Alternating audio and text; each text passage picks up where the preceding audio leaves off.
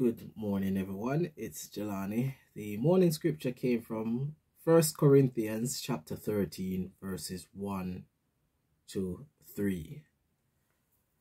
Let us pray.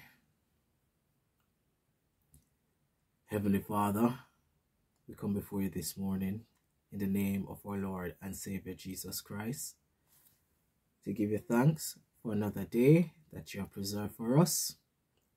And if we just stop to think, not many people, well, um, many people, should I say, did not have the privilege to wake up this morning and to see another day.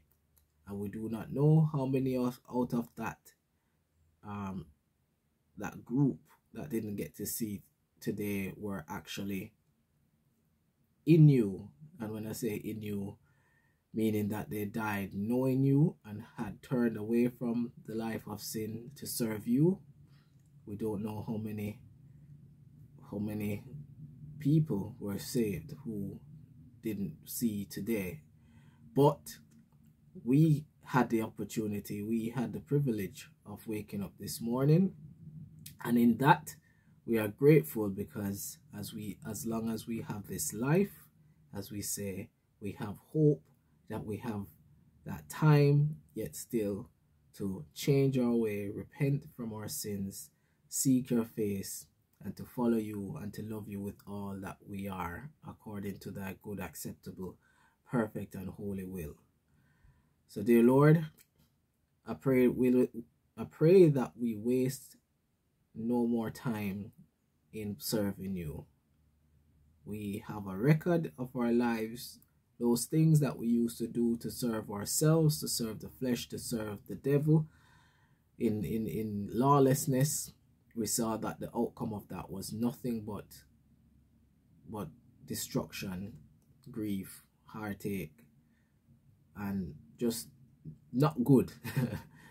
so I I I pray this morning, dear Lord, that we come to terms that doing things of our own self and our own will will not lead to anything but destruction and that we totally devote ourselves over to you mind body spirit soul everything that we are. And i pray even this morning dear lord that you help us to forgive one another so that we can be forgiven of you. I pray that we love have a love for the truth and that we are not being taken away with the snares of the evil one which is deceits and lies and the traps that he sets with these things but that we are able to discern all things through the truth and the knowledge of you lord jesus christ. And whilst we traverse this life and go through the various tests and trials i just pray as always that we are focused on you keeping our eyes fixated on you so that nothing that happens around us will deter us from the faith and the hope and the love that we ought to have for you, Lord Jesus Christ. And as always, as we ask each and every day that we are able to impart this wisdom, this knowledge into our children so that they may grow up knowing the true principles, the holy principles of our Lord and Savior Jesus Christ. And when they are of age, they shall never neglect nor reject you. But be light, but be a light to the world as we all are called to be. So lead us in spirit and in truth in your word this morning to the glory of God our Heavenly Father in the name of our Lord and Savior Jesus Christ. Amen. Okay. First Corinthians chapter 13, 1 to 3 says, Though I speak with the tongues of men and of angels, and have not charity, I am become as sounding brass or a tinkling cymbal. And though I have the gift of prophecy and understood all mysteries and all knowledge, and though I have all faith so that I could remove mountains and have not charity, I am nothing. And though I bestow all my goods to feed the poor, and though I give my body to be burned, and have not charity, it profiteth me nothing. Amen. So, I wanted to just speak a little this morning on charity, which is love. So love and obedience, right?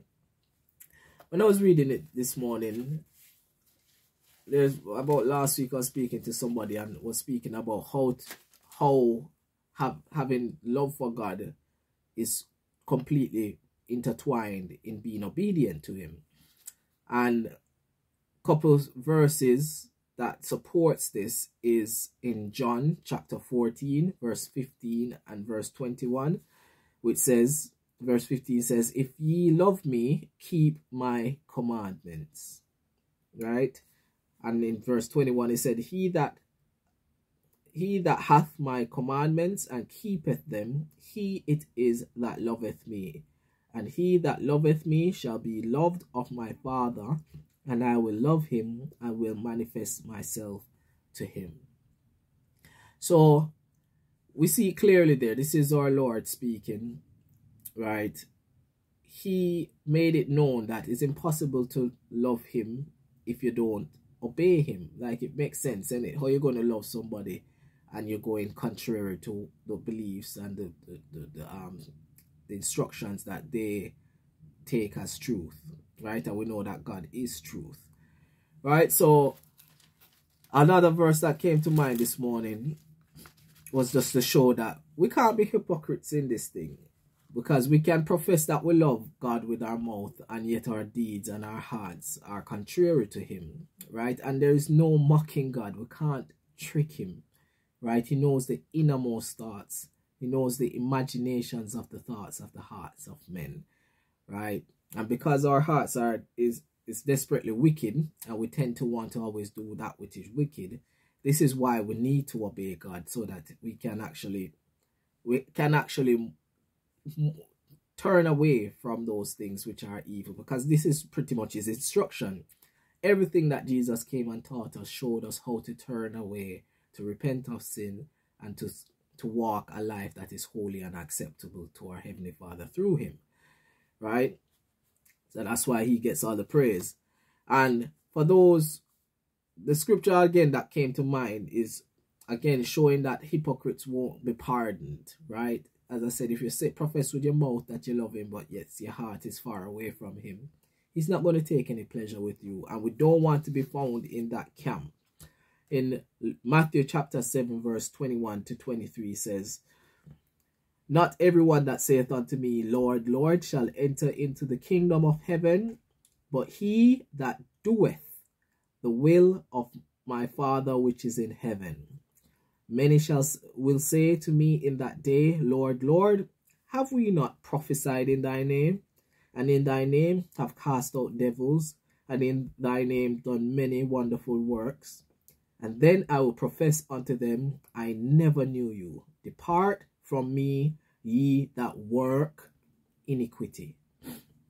Again, it shows you clear as day that you can be doing things, right, that show like you're serving God, but the love is which is the nucleus is not there. And if you're doing things outside of love, which is outside of God because God is love, then are you a hypocrite? And we, that's what we speak for all of us, we don't want to be hypocrites.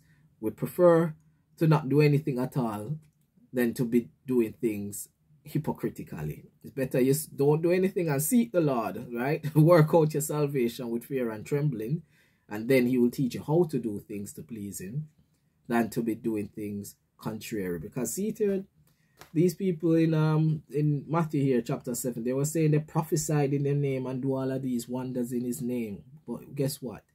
They still weren't serving God. Because as in John it says here if you love me you keep my commandments. Right? He that loveth me keep the commandments that he has set before us. And as it says here in in Corinthians it shows you that Lord in the end it says said, Now abideth faith, hope, and charity. These three, but the greatest of these is charity, which is love. Right? And you can read verses 4 down just to get to, into context what it entails to show the love of God. This is the characteristics of Him. Right? And yeah, I'll leave it at that. But just to sum up, just remember that in loving God, there has to be obedience to what he has told us to do and this is what we want to walk in all the days of our lives to do his good acceptable perfect and holy will to show his love to all mankind. All right so i'll leave it at that this morning everyone. Any questions anything that you want to share you can drop in the comment section or you can send it into the word at eachreach1.org and as much as the lord has led me taught me and kept me over the years i will answer them according to his word according to his principles, according to his will, being led by his Holy Spirit. So have a blessed day, everyone, and God's willing, we'll catch up again tomorrow.